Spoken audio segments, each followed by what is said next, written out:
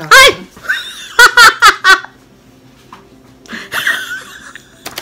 Actually, kahit isang episode lang.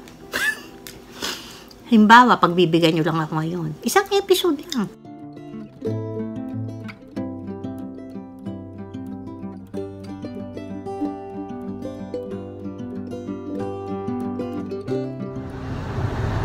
Hello, it's uh, 6 p.m. 6 p.m. nga ba? O, 6.30 na ng gabi. Medyo malabo yata ko ako kapag ganito ang uh, kuha. Umuulan po sa amin at napakalamig. Lalabas lang kami, may konti kaming errands, mag-grocery kami. Um, kasi meron yung, yung tinulungan namin dati, bale, hirap kasi siyang mag-grocery kasi syempre may baby, ba? Tapos um, cesarean pa siya. So sige bibili namin siya at dadali namin sa kanya either tomorrow or Monday kasi Thanksgiving po dito sa Monday. So yun, baka madala namin tomorrow kung papasyal kami din sa Vancouver. So mag-grocery muna kami puno ang push cart. Pero hindi sa amin lahat yan. Itong madami, yung sa nagpabili. Kasi nga, wala rin naman siyang sasakyan. So, imagine na lang, oh, ito. May ganito pala. Nursery water ba yun? Bigat-bigat yan, ha? So, dadali na lang namin ngayong gabi. Bala ko kasi magluto. Tapos bigyan ko siya. Pero, hindi kakasya kasi meron pa rin siyang mga frozen items. Yan. Ano nga ba? Alam nyo, dito sa ibang bansa, hindi naman, ako nung una, nung nakapunta akong US, akala ko, eh, ang mga tao lahat mapipera. Bata pa naman ako noon. Tapos meron din pala mga homeless. Yan, katulad niyan yung nandun sa McDonald's sign. Um, nangihingi din niya. May bata pa nga eh, naawa kami ni Russell. Kanina pa namin tinitignan. Sinabihan ko si Russell, baka gusto niyang, kasi baka hindi pa kumakain. Ah, ito si Russell, wait. Ngayon si Russell, kinausap niya. Nakasulat daw doon, may limang anak. Tap, may limang anak, tapos, ay, sorry ah. Tinakpan naman ako ng car.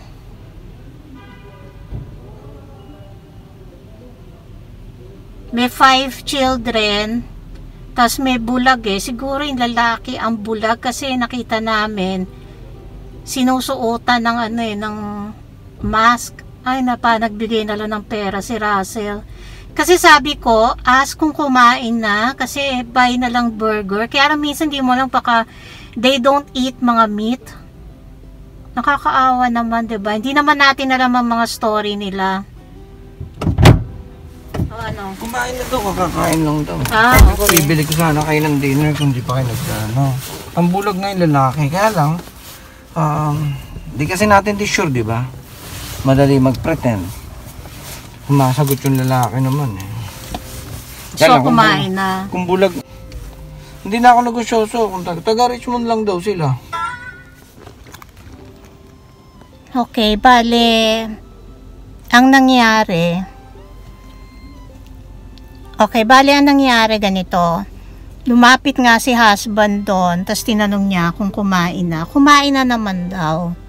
So, hindi na niya binigyan ng food, ano lang, nagbigay na lang siya ng $5. May mga nagbibigay naman na dumadaan. Tapos kasi hindi rin naman natin alam yung kwento nila. Hindi rin naman natin alam kung nagsasabi ng totoo.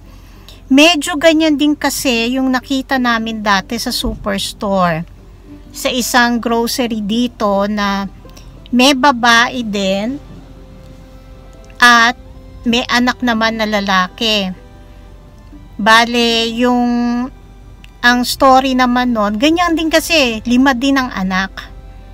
Taga Richmond din daw sila. So, of course, sabi nga nila, oh, baka manlo, nanloloko or what.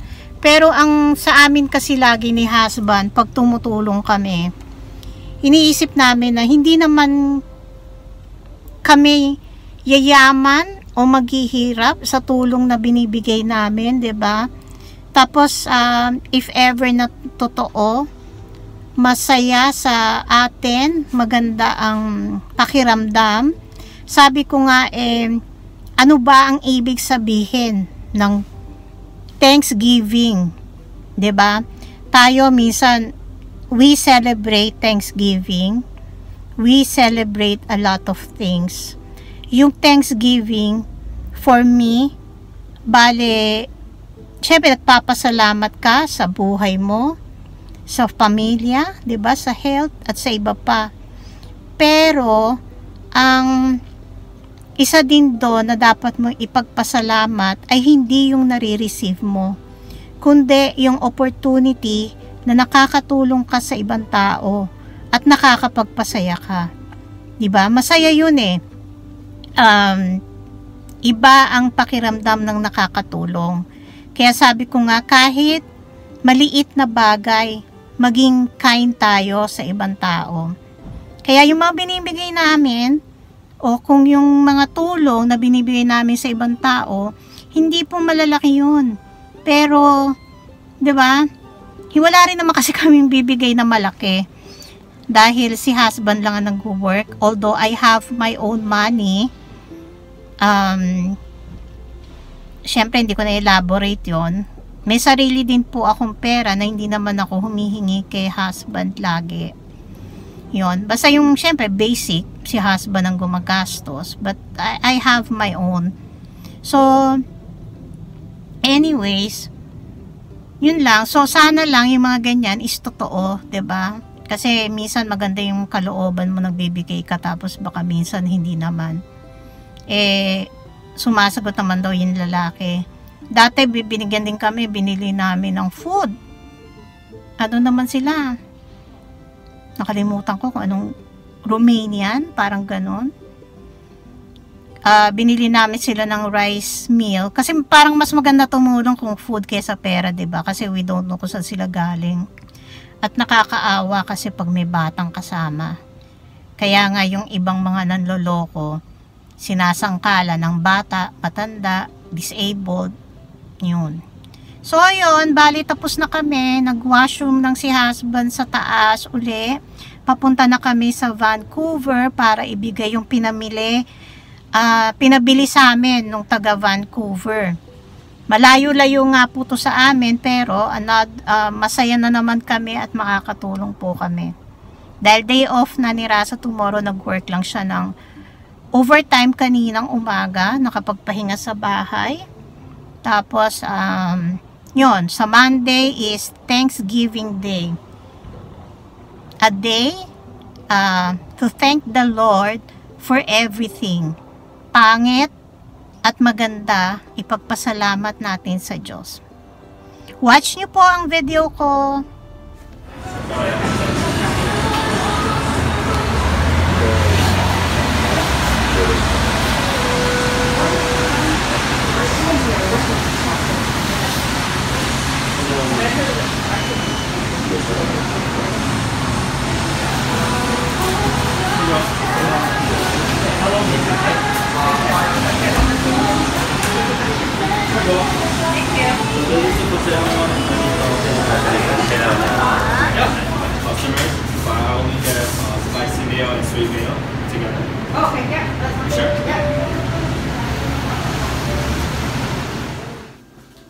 Kakauwi lang namin, galing po ng Vancouver. Hindi ko na po kinunan ulit yung aming pinuntahan na tinlungan. Uh, nakita ko yung baby niya. Pagka-cute-cute. Kaya, swerte mo, um, Joyce and ano nga pa husband niya? Edmond. Dahil napakaganda ng inyong angel. Siyempre, mahirap lang dahil nag-isa si Mrs. Pero sana makarating na rin si husband doon. Yun. So, dapat kakain kami sa Tim Hortons kasi meron akong uh, free $25 na gift card nung niregalo na, sa akin ng aking sister na si Juvie nung birthday ko pa po nung August. So, gagamitin ko sana. But then, napadaan ako dito, napadaan kami dun sa, ayun na naman, Chung Chun Rice rice dog. Yung Korean hot dog po to.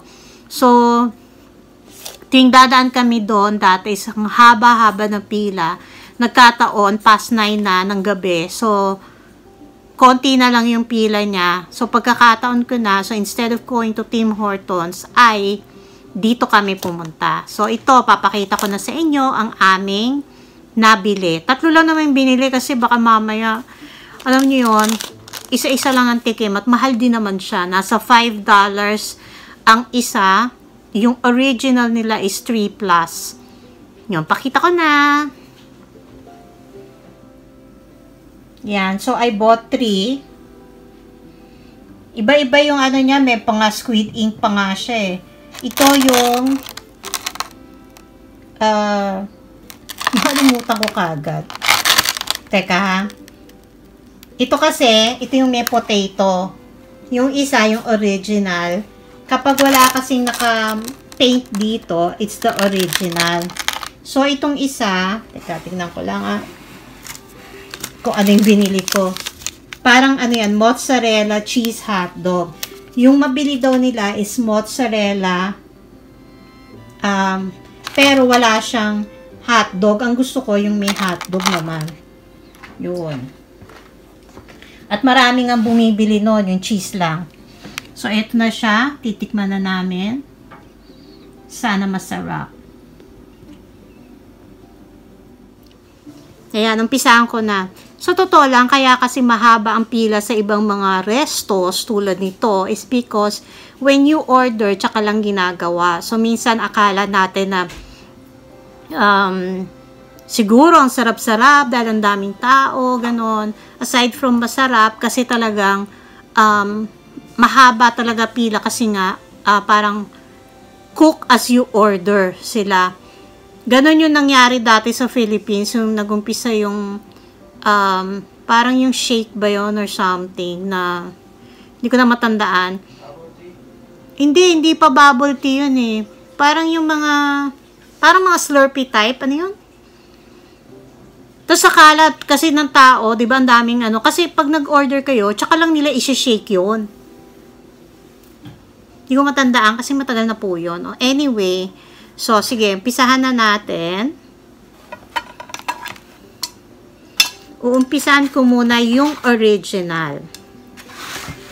Original is 3 plus, pero parang almost $4 na. Ang pinili ko is uh, mayonnaise and ketchup lang. Because I want to taste the ano talaga,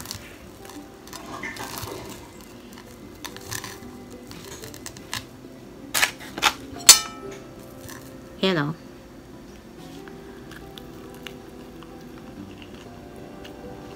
Ang laki ng ano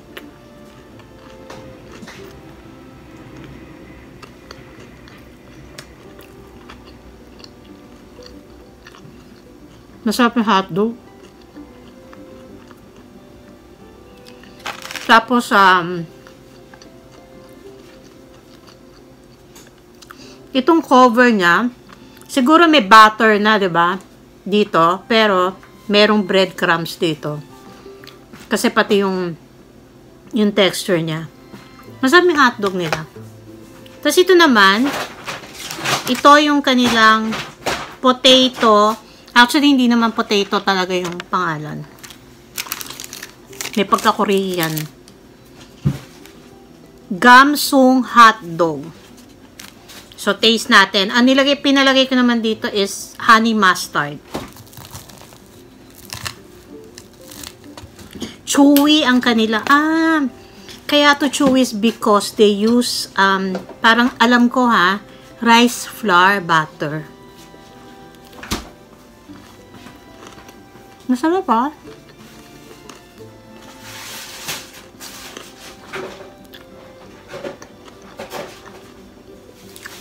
Because it's rice flour. Kung tama ako ah. I-google ko tapos isusulat ko dito.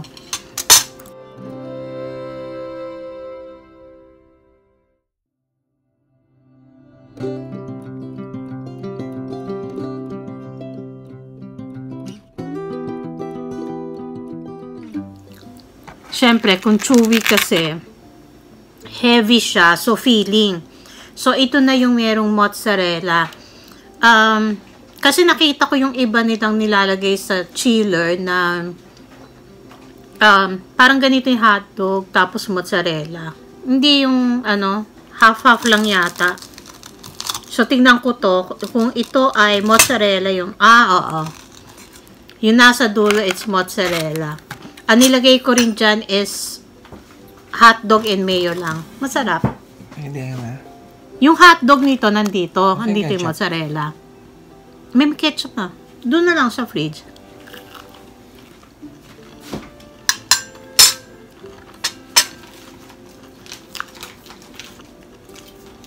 Masarap nga ang kanilang hot dog.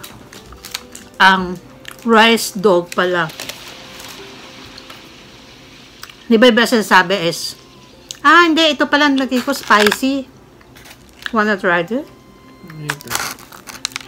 Medyo spicy to, spicy mayo. Baka magustuhan mo to. Nararamdaman ko yung spice, pero masarap siya. Hatiin ko rin yan, ah. Wait. Tingin mo na eh. Tutusok na lang ako. Labas mo dyan. Nagustuhan ko to. Kahit yung original, okay lang. Tingin mo na. Tutusokin ko na lang ng steak. Try mo na yun, oh. Mamaya, titigman ko muna yan. Di ba, maliit lang.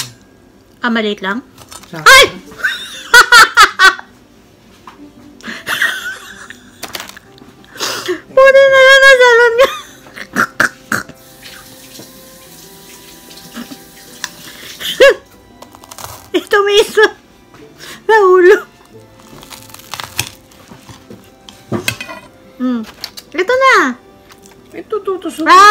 Okay, okay, okay. Yan. Yun. Anyway, so yun lang po ang aming araw, Saturday. Sabi ko nga sa inyo, weekend ng Thanksgiving. So, thank you, thank you sa mga nanonood, sa mga nagsusupport sa amin po. And don't forget to like, comment dito sa baba, at subscribe. Pero watch muna kayo bago mag-subscribe para hindi po naaalis ang subscription. Kasi kung basta kinlik nyo lang muna ang subscription without watching, kinabukasan o maya-maya, mawawala na po yan. So, watch muna. Actually, kahit isang episode lang. Halimbawa, pagbibigyan nyo lang ako ngayon. Isang episode lang. I-watch nyo, mga 10-15 minutes. O kaya 10 minutes na lang. Kung ayaw nyo ng ano ko. Pag naka 10 minutes kayo, subscribe nyo. Tapos, yun, okay na yun. Kahit ayaw nyo na akong panoorin sa mga susunod. Pero panoorin nyo pa rin kasi okay naman, di ba? Paunti-unti. Okay, bye! Happy Thanksgiving, Canada!